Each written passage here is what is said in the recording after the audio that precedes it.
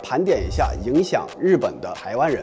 唯一入选日本棒球名人堂的台湾选手吴昌征，在日本被誉为赚钱之神的邱永汉，有着不死鸟之称的围棋界传奇人物林海峰，歌舞伎厅的创始人林以文。还没来上空气啊！社长带你看日本，大家好，我是社长刘洋。上一期的影片中啊，社长给大家介绍了四位在日本取得了卓越成就的台湾人，包括泡面之父安藤百福、建筑大师郭茂林、艺术女神翁倩玉以及文学巨匠陈顺成。可以说，他们每一位呢，都在自己所在的领域里大放异彩。这一期社长将继续为大家介绍另外四位同样优秀的在日台湾人。影片开始之前，还是跟大家提一嘴。我差不多每个月呢都会去到台湾，去各个城市开赴日投资移民的分享会。如果你感兴趣的话，可以扫这个二维码，就能看到我们最新的分享会的动态。欢迎大家来报名。好了，那话不多说，我们开始今天的影片。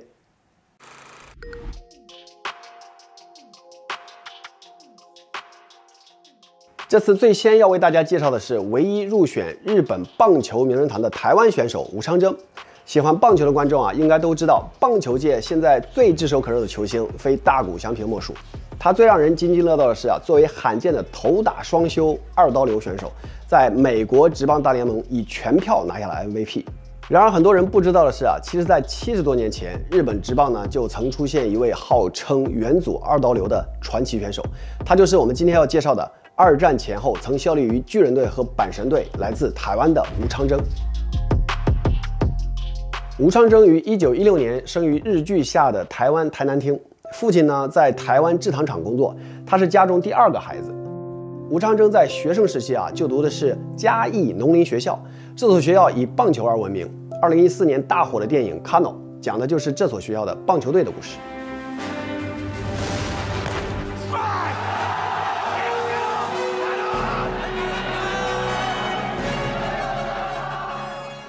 吴昌征在嘉义农林上学的时候，曾在近藤兵太郎教练的指导下四次打入甲子园，并获得1931年夏季甲子园大赛的亚军。当时因为钉鞋不合脚而赤足在甲子园训练的吴昌征，还获得了“裸足的人间火车”的外号。毕业后，吴昌征加入了日本职棒联赛的名门东京读卖巨人队。凭借着左投左打的技术特点，吴昌征迅速征服了巨人队的球迷。加入了巨人队的第一年呢，就成为了先发中外野手。吴昌征究竟有多优秀呢？他曾以一百公尺十一秒的速度成为盗垒王，同时又拥有能够远投一百公尺的臂膀，还曾两次获得打击王，再加上还能胜任投手一职。吴昌征可以说是一个极具四项全能的选手。但事实上，吴昌征的静态天赋并算不上优秀，身高只有一百六十七公分而已，有着如此恐怖的体格呢，全靠的是平时扎实的训练。一九四三年，吴昌征以打击王的身份成功当选日本职棒的 MVP。赛季结束后，吴昌征决定退出巨人队，准备回到台湾发展。然而，这个决定呢，却因战争的局势发生了变故。当时的台日航线有着美军潜水艇攻击的危险，吴昌征只好留在日本，加入了阪神老虎队。有意思的是啊，在日本职棒暂停比赛的一九四五年，吴昌征还运用他在嘉义农林学到的知识，将阪神老虎队的主场甲子园球场的外野草地改成了种满芋头的菜园。前面我们说到，吴昌征是元祖二刀流，他的打击率常年保持在联盟前十，而作为投手呢，更是于一九四六年的六月十六日，在与东京参议员队的比赛中啊，缔造了无安打无失分的记录啊，在那场比赛里啊。对阵的三十名打者中啊，没有出现一次安打，令人叹为观止。一九五七年，吴昌征宣布退役，结束了超过二十年的职业生涯，这是首次有职业棒球选手能够达到的成就。吴昌征不仅仅是一个二刀流选手，他更是创造了无数令人尊敬的记录。为了表彰其在棒球领域的杰出贡献，吴昌征于一九九五年和二零一八年分别入选了日本和台湾的棒球名人堂。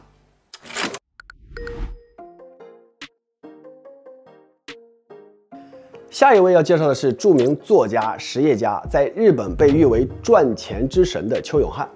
邱永汉一生与金钱为伍，但是呢，由于他的公司没有一家上市，并且财产分散在日本、台湾、香港、美国等地，所以呢，没有人知道他的总资产到底有多少。但是有一点是毋庸置疑的，邱永汉绝对是日本屈指可数的超级富豪。邱永汉于一九二四年出生于台湾台南市。高中毕业后，邱永汉来到日本东京帝国大学，也就是现在的东京大学留学。二战结束后，邱永汉又回到了台湾。当时的台湾呢，正值白色恐怖时期。邱永汉呢，因为参与台湾的独立运动，受到国民党通缉。几经波折呢，邱永汉于一九四八年的十二月偷渡逃亡到了香港。一无所有的邱永汉面对光怪陆离的香港社会，没有畏惧退缩。他坚信，在香港这个处处以钱为中心的资本主义世界里，只要敢拼，就会有属于自己的机会。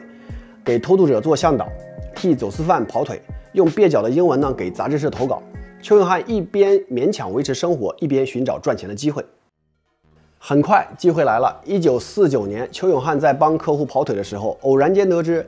二战后的日本，由于盟军司令部的严格管控，物资极其缺乏，像砂糖啊、胶鞋啊这样的日常生活用品，在日本市场呢都能成为抢手货。邱永汉还发现，当时外国人是允许邮寄救济品给日本人的，只要分量足够少，就不会被海关没收。这简直就是发财的绝佳机会啊！邱永汉立即做起了类似今天的海淘生意，用仅有的几百块港币作为本钱，用了两年的时间，赚到了人生的第一个两千万日元。物欲横流的香港让邱永汉积累了财富，却也让他感受到精神世界的空虚。东京帝国大学毕业的邱永汉对麻将和赌马呢都没有太大兴趣。他在骨子里啊依然是怀念每天讨论巴尔扎克和歌德的大学时光。他依旧对文学怀有向往。而在这时，生活也把他向文学推了一把。婚后一年半，邱永汉有了孩子，但孩子却患了一种怪病。香港医生建议他们去日本治疗。一九五四年，邱永汉一家启程前往日本。他一边陪孩子治病，一边呢也趁这个机会开始文学创作。与一门心思写作的文人不同，邱永汉的商人思维为他拓宽了路子。他一边以自身的经历进行创作，一边毛遂自荐，将自己的作品邮寄给日本文坛的大家们。好处啊，很快就显现了。他的前两部作品都因得到日本文学大家的推荐而出版。一九五六年，邱永汉的小说《香港》获得了日本文学最高奖直木奖，日本文坛震惊了，因为此时的邱永汉不过才三十二岁。只出版过两部作品，而且呢还是一个外国人。此后，邱永汉开始在日本女性杂志《妇人公论》上连载关于如何赚钱的文章。当时的女性杂志内容大多都是恋爱、结婚、生孩子。邱永汉的文章呢，让人眼前一亮，读者纷纷来信称赞他写得好。随后，邱永汉将连载文章集结成书，起名为《金钱读本》。这本书直接让他成为了月入百万日元的作家。此后啊，他对金钱类的文章兴趣更大了。并准备把内容向股市延伸。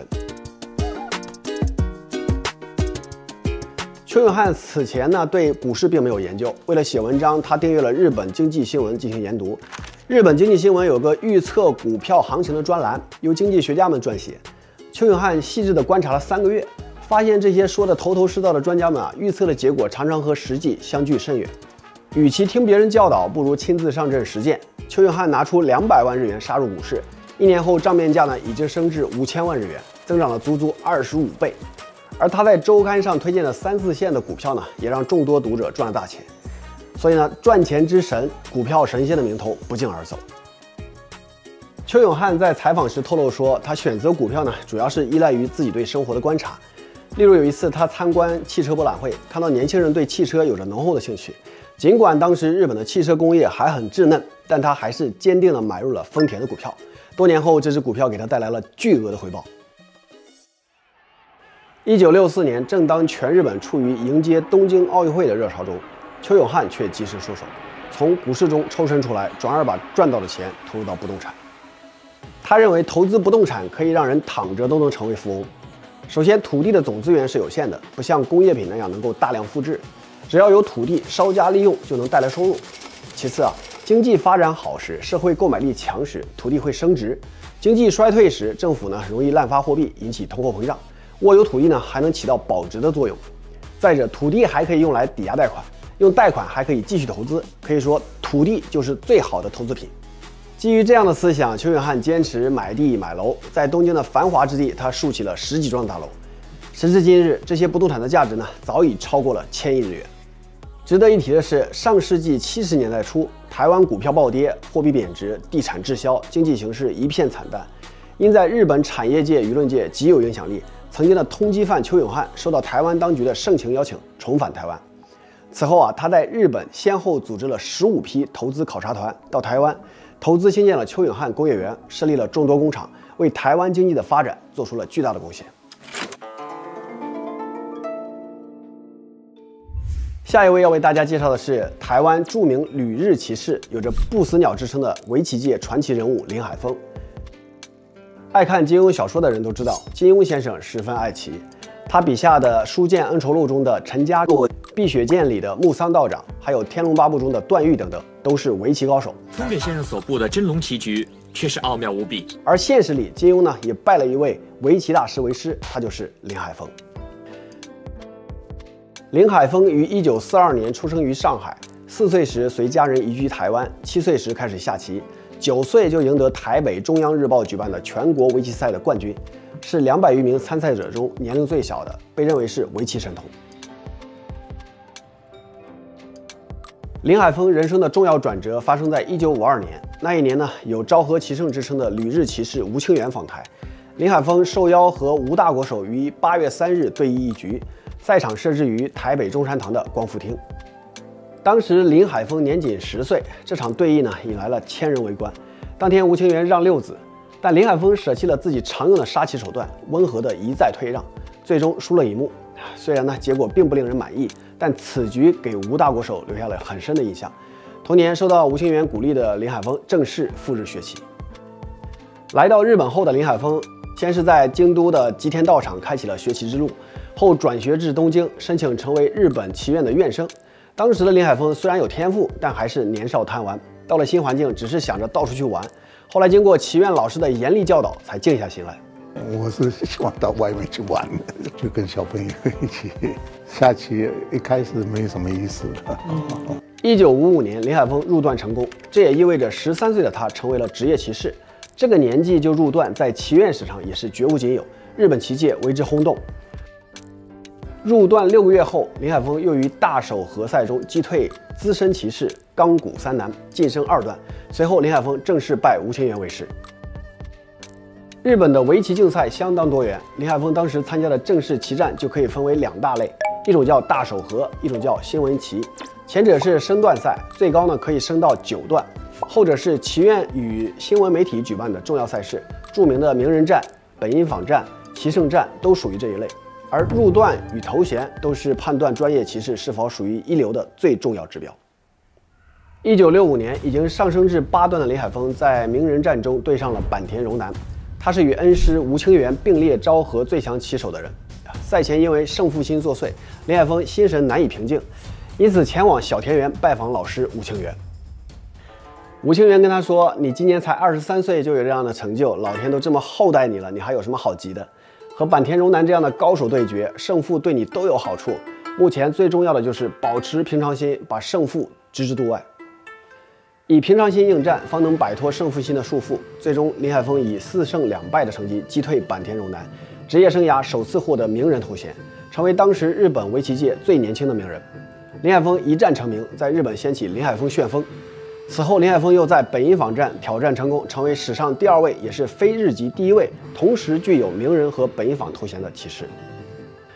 说到林海峰的棋风，给人最大的印象就是坚毅和韧性十足，屡屡在棋赛中逆转取胜。他永不放弃的精神，让他在棋坛被誉为“不死鸟”。在长达六十余年的职业生涯里，林海峰获得的荣誉不计其数。日本职业围棋界中的七大头衔，林海峰曾获得六项。他还实现过天元头衔的五连霸，在二零零二年获得日本棋院所颁发的名誉天元头衔。林海峰缔造了许多经典名局，在日本漫画《麒麟王》中，塔师鸣人和藤原佐为对弈的棋局，原型即是出自林海峰和伊田纪基的对战。现年八十一岁的林海峰仍活跃于棋坛，他在二零一五年取得了职业生涯一千四百胜，是继赵志勋之后历史上第二位突破此纪录的棋士。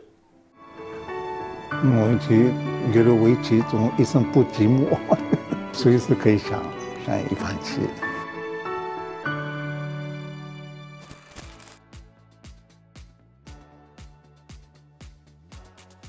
最后一位要为大家介绍的就是林以文。看过《歌舞伎町案内人》李小牧影片的朋友，可能有听说过，新宿的歌舞伎町作为日本的第一红灯区，它的诞生和发展跟三位台湾人有着密不可分的关系。他们三人被誉为歌舞伎厅的华侨御三家，可以毫不夸张地讲，没有他们就没有现在的歌舞伎厅。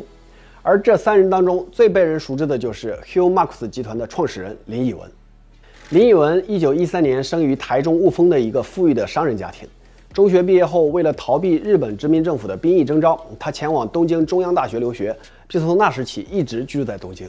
二战后，他与姐夫一起在日本经营一家药厂，生产止痛片等当时稀缺的药品，从而迅速积累了巨额财富。随后，他将这笔资金用于不动产的开发和买卖，大量购入了位于新宿、中野、山并等地区的土地。最终，他将目光转向了尚未开发的。歌舞伎町，在二战爆发之前，在新宿车站附近有一家著名的红磨坊剧场。这是一座仿巴黎蒙马特的讽刺剧场，屋顶上有一个红色的风车，可以容纳四百名观众，每天上演各种各样的舞台剧。自开幕以来，一直深受知识分子的欢迎，包括菊池宽、川端康成等作家都曾前往观看。然而，随着二战的升级，红磨坊剧场在一九四五年的东京大空袭中被夷为平地，这让热爱戏剧的林以文非常沮丧。因此，他决定购买土地并重新建造剧场。一九四七年的春天，全新的红磨坊新宿座在歌舞伎町重新开业。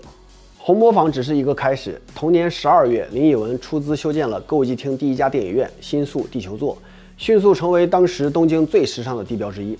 这里放映了日本国内第一部彩色电影《卡门归乡》，也让许多日本人首次接触到了外国的电影。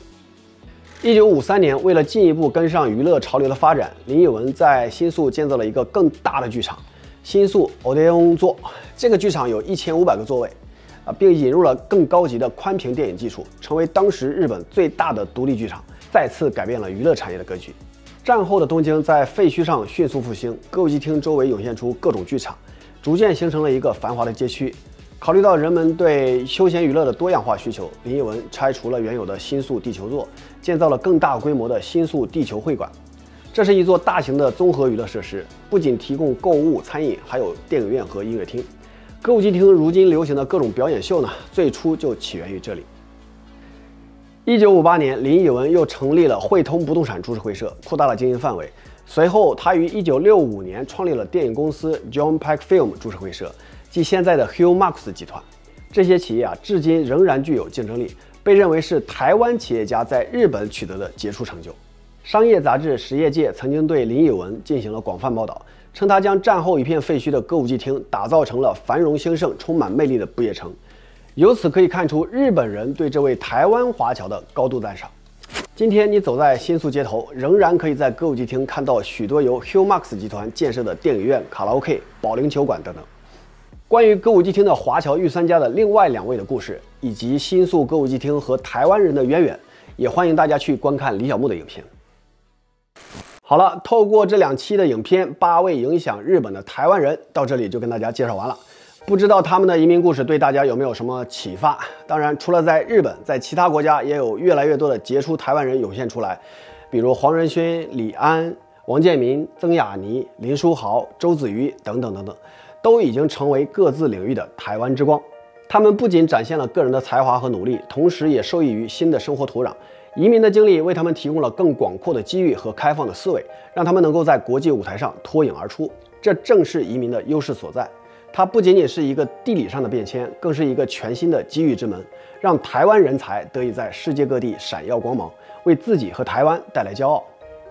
好了，今天的节目就到这里。如果你喜欢本期节目，欢迎订阅、点赞、评论。